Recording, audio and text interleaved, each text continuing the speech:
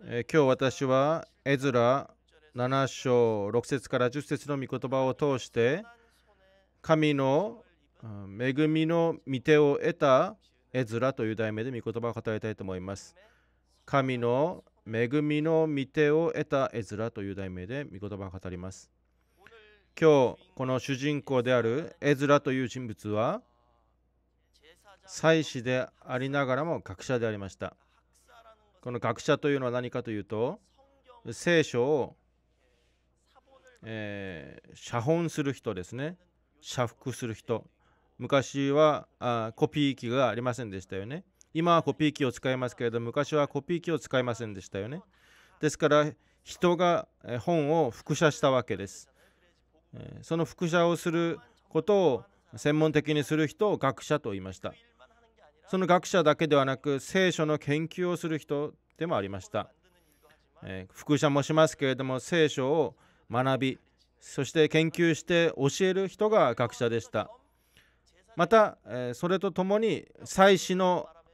えー、働きもしていました。今で言えば牧師でもありながら神学者でもある人であると言えますね。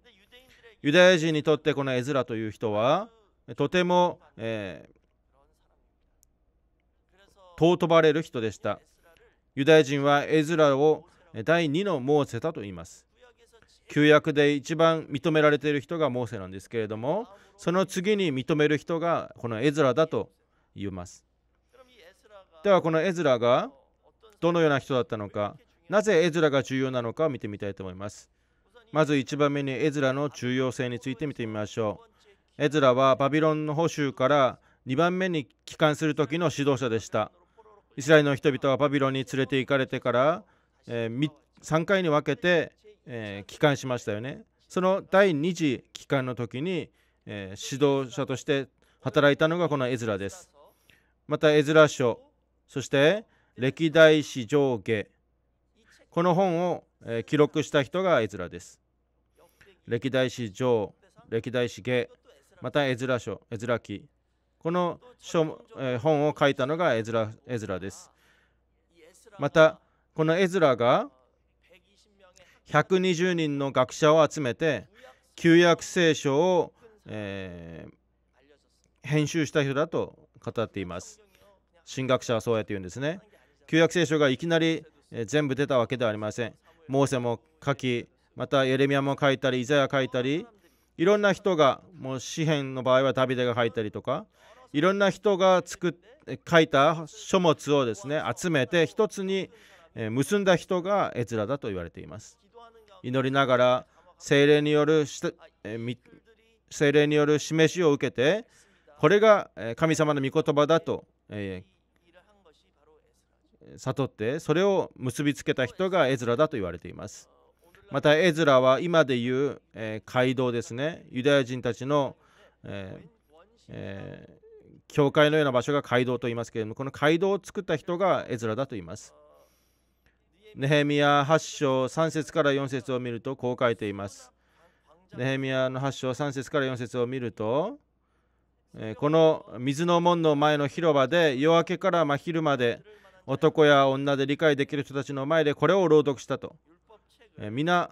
民は皆立法の書を耳に傾けたと語っていますね。その時学者エズラはこのために作られた木の台の上に立ったと語っています。この木の台の上に立ったと。今このようにですね講談がありますけれどもそのようなところに立って、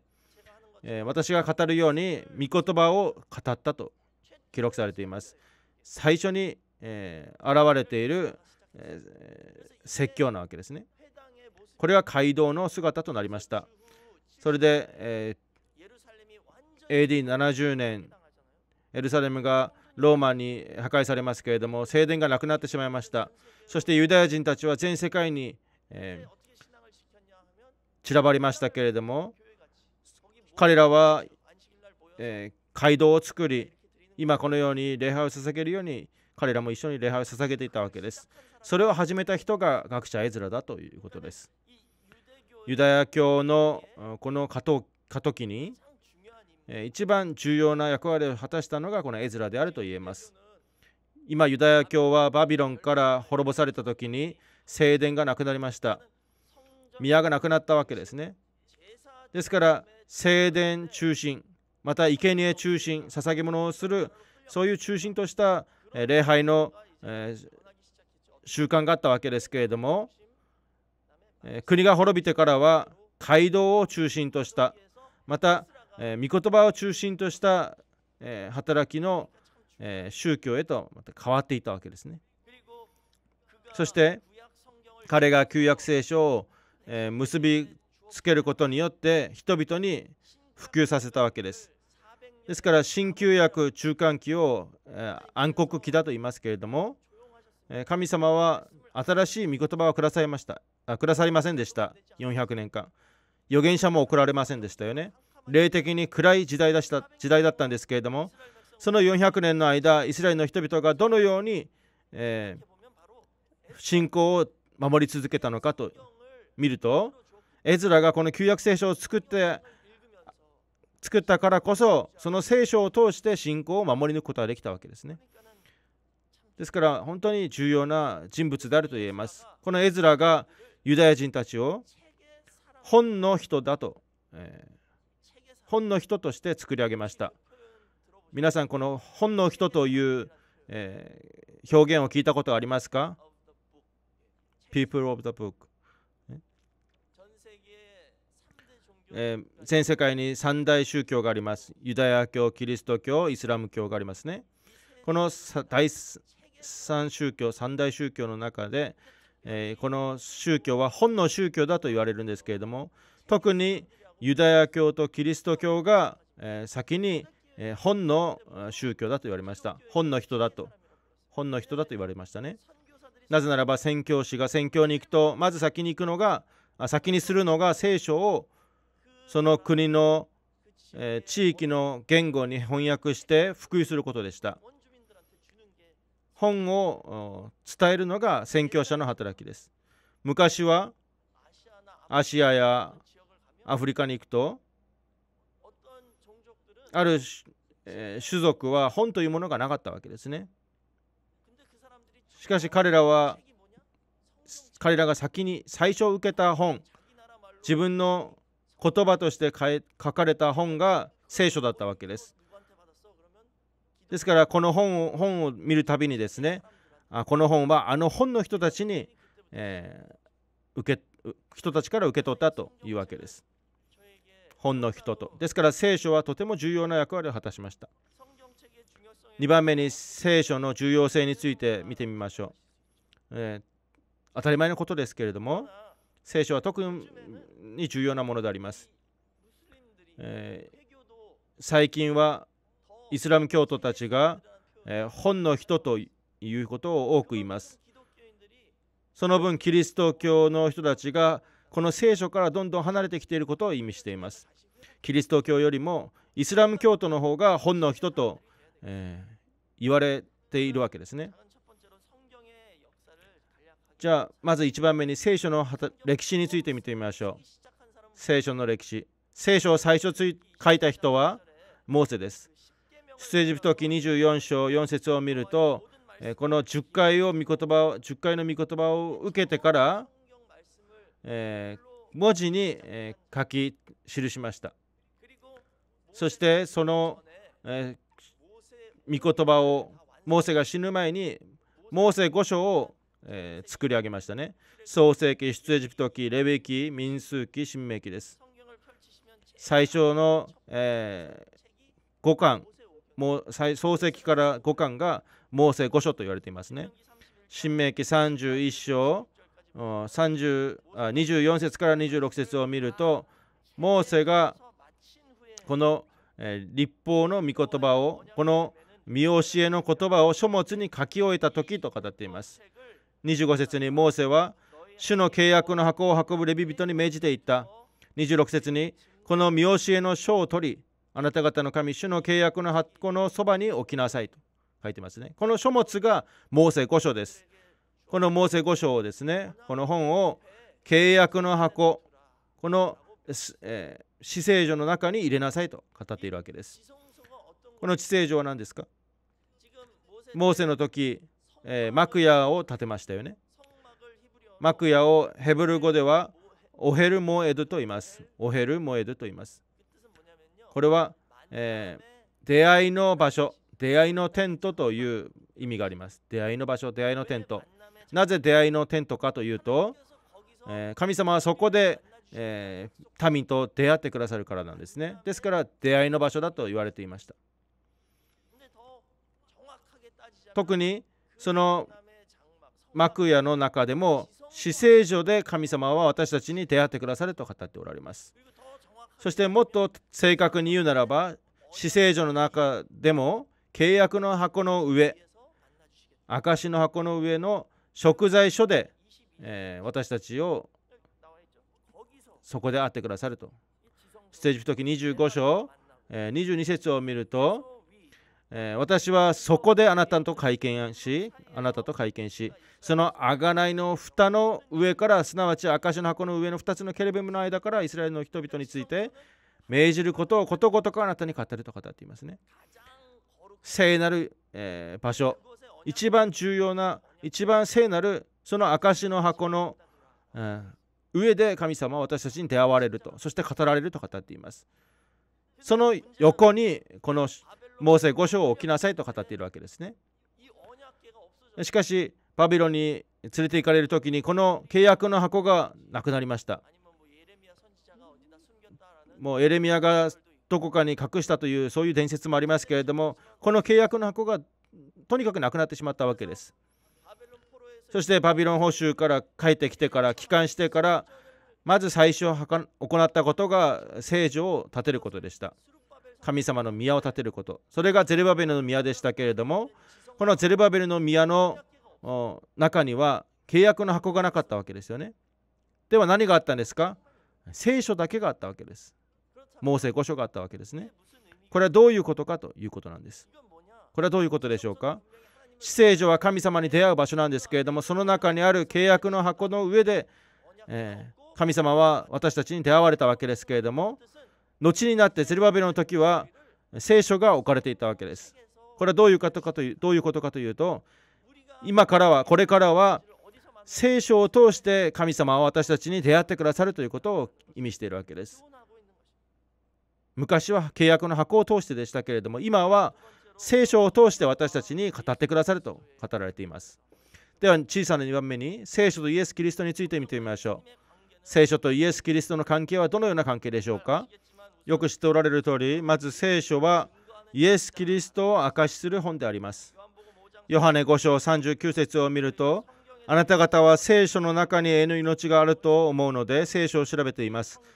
その聖書が私について証言しているのですと語っています。聖書はイエス・キリストについて証しする本であると語っていますね。それだけではなく、聖書は聖書とイエス・キリストの関係はそれ以上の関係です。ではまず、イエス様はどのような人ですか？イエス様はどのような人ですか？皆さん。何と答えますか？聖書では、えー、確かに明らかにされています。ヨハネ一章一節を見ると、初めに言葉があった。言葉は神と共にあった。言葉は神であったと語っていますね。言葉が神様です。御言葉が神様なんですね。そしてヨハネ1章14節を見ると言葉は人となって私たちの間に住まわれたと語っていますね。これが誰ですか？これがイエス・キリストです。御言葉が人の形とかたどってこられたのがイエス・キリストです。御言葉が。ですから、えー、イエス・キリストというのは人となられた御言葉と言えるでしょう。人となられた御言葉です。では聖書は何ですかと語るならば聖書は、えー、文字となった御言葉ですね。文字にとして記録された御言葉です。本として書かれた御言葉なんです。ですからイエス・キリストも聖書もその中心の、え、内容は同じなわけです。どちらも御言葉なんですね。イエス様も御言葉であられ、また聖書も御言葉であります。黙示録19章13節に何と書かれていますか？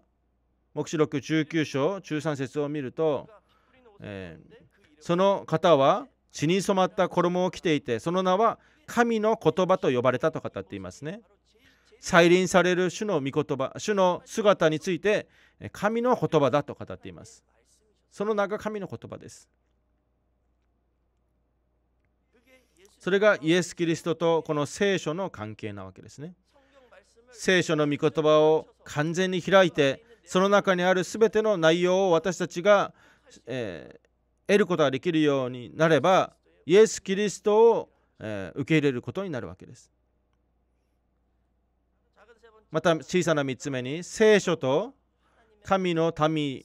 の関係について見てみましょう。聖書と神の民の関係。私たち皆さんが神様の民であります。神様の子供たちです。ではこの神様の民をどのように創造されたのでしょうか。聖書を見ると神様の民は神様の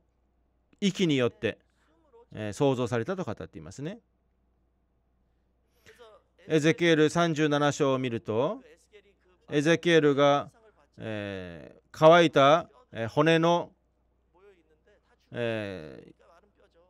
姿を見たわけですけれども神様の息が入ってきた時に、えその骨が生き返り、え軍隊となったと集団となったと語っています。それはイエスイスラエルの人々を語る御言葉であります。エゼキエル37章10節を見ると私が命じられた通りに予言すると息が彼らの中に入った。そして彼らは生き返り自分の足で立ち上がったと語っています。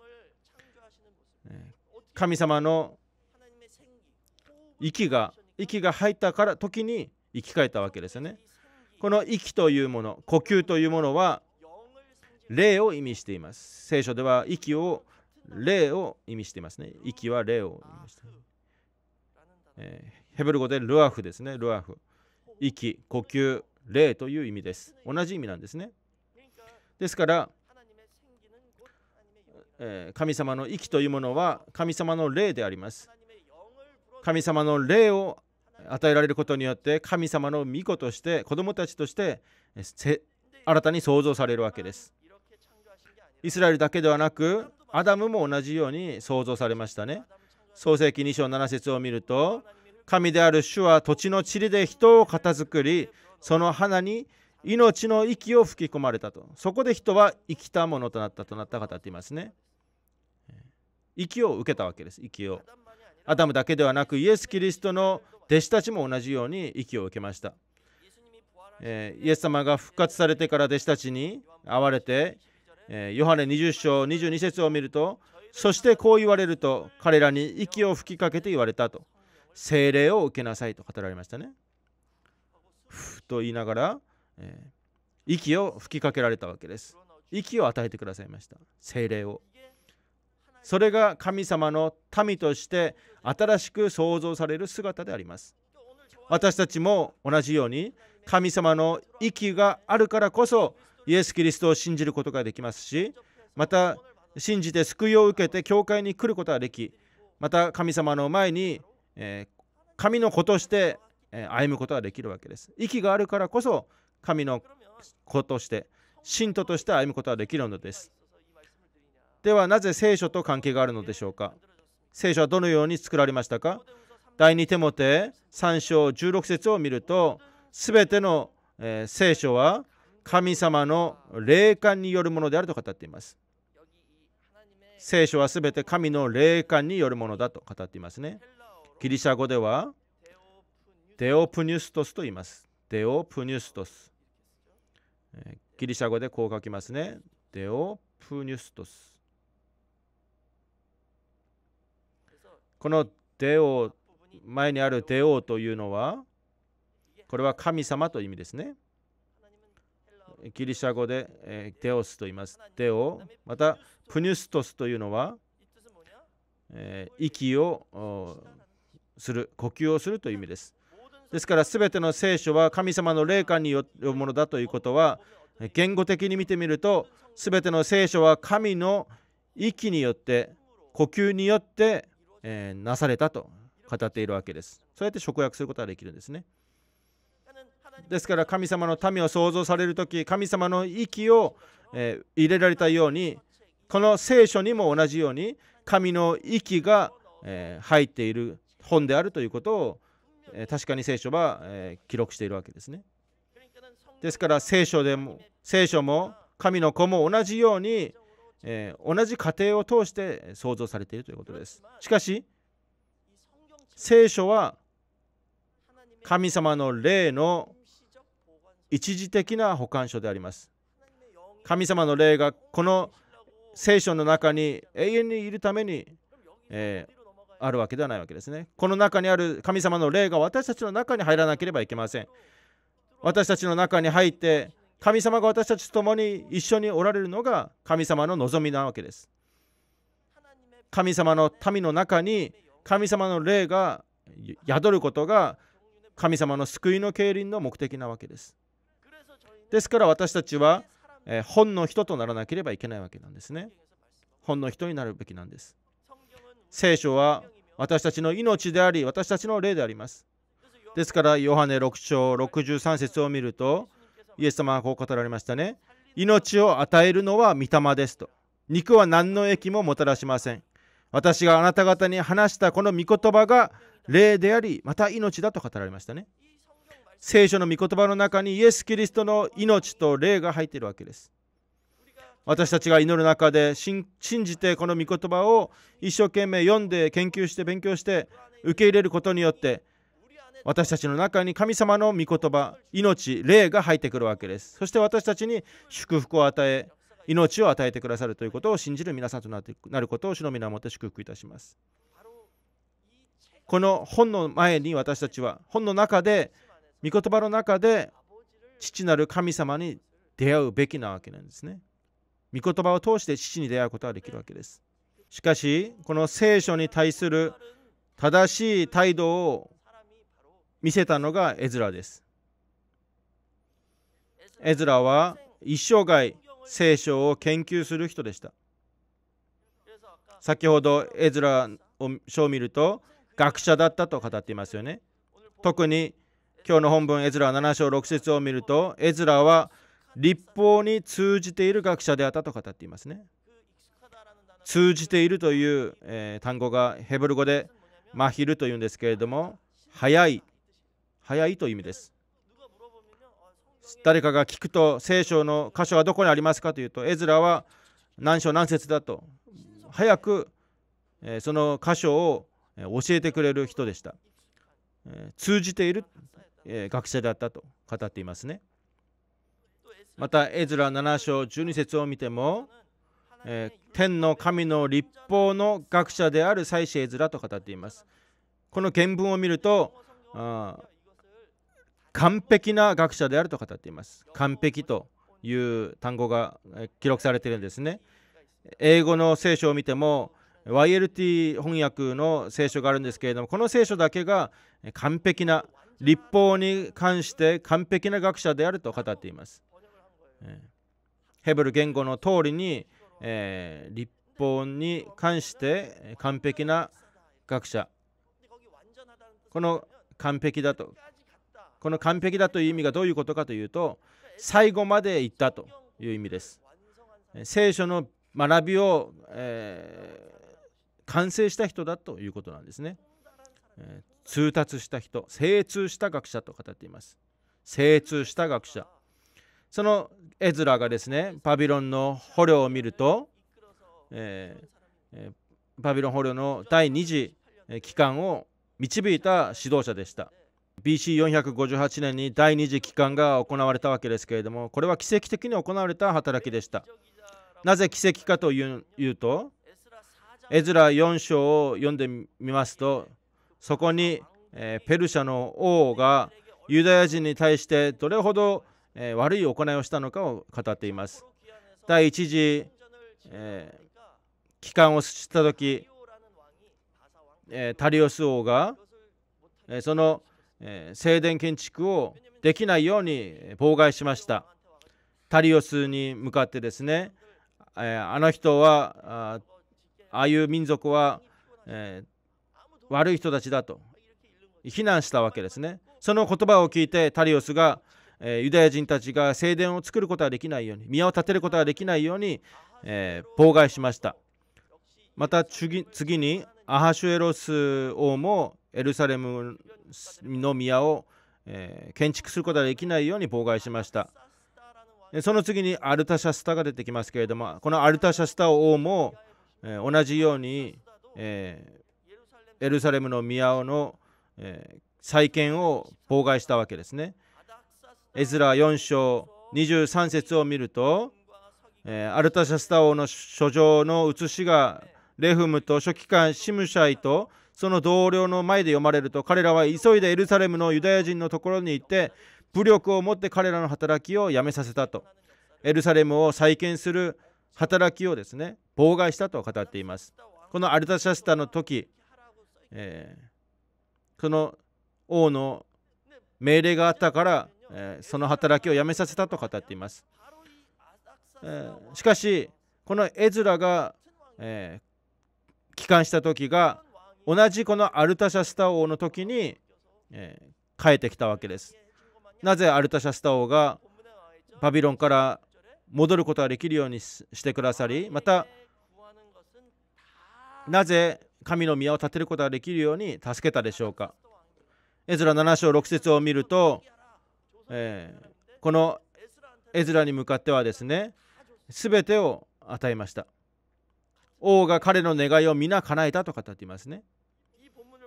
この本文を見るとその理由について記録されています。エズラは何でですか？エズラは主の御手の主の御手が彼の上にあったので主の御手が彼の上にあったのでと語っていますね。ここを見ると神様の御手の恵みがあったと語っています。原文を見ると神様の恵みの御手があったからこそ王は彼の願いを皆叶えたと語っているんですね。また今日の本文9節にも記録されています。神の恵みの御手が確かに彼の上にあったと。ですからエルサレムに無事着くことができたと語っていますね。ですから今日の本文を見ると王がエズラにエズラが願う全てのことを与えました。お金も与えました。そしてエルサレムからエルサレムに戻るその帰還の道をも守ってくれ守ってくれました今日の本文を見ると神様の恵みの御手が共にあったからであると語っていますね愛する皆さん私たちもこの恵みの御手を受けなければいけません神様の恵みの御手の助けが私たちと共にあればどんな、働きにおいても万事が益となります神様の恵みの御手は力あり権威のある御手でありますエズラがその助けを受けたわけです。では結論的にエズラはどのようにしてこのような神様の恵みの御手の助けを受けることができたのでしょうかそれが今日の本文の内容です。エズラ7章9節10節に書いてますね。エズラ7章9節から10節を見るとすなわち彼は第1の月の1日にバビロンを出発して第5の月の1日にエルサレムに着いた。彼の彼の神の恵みの御手が確かに彼の上にあったと語っています。神様の恵みの御手があったからこそ、え、到着できましたね。そして10節に、エズラは主の立法を調べ、これを実行し、イスラエルで起きてと定めを教えようとして心に定めていたからであると語っています。この10節を見ると、えー、10節を見ると、えー、キーというヘブル語が単語が記録されています。えー、接続詞なんですけれども、キーというのは英語で言うとなぜならと、because です。なぜなら。ですから、これを、えー、原文での原文の通りに訳してみると、エズラがこの5月1日に到着することができたのは神様の恵みの御手があったからでありますと。それはなぜならばエズラが主の立法を調べまた実行しまた掟と定めを教えようと決心したからであると語っています愛する皆さんエズラがなぜ神様の恵みの御手を受けることができましたか？その理由はこの3つの決心があったからからであると語っているんですね御言葉を研究しまた実行し